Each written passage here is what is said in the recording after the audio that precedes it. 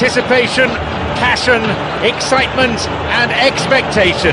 It's all here in what is the final chapter of the UEFA Champions League. And the stadium comes to life as we hear the strains of the UEFA Champions League anthem. So many trophies between them, so many stellar names on the pitch at the same time.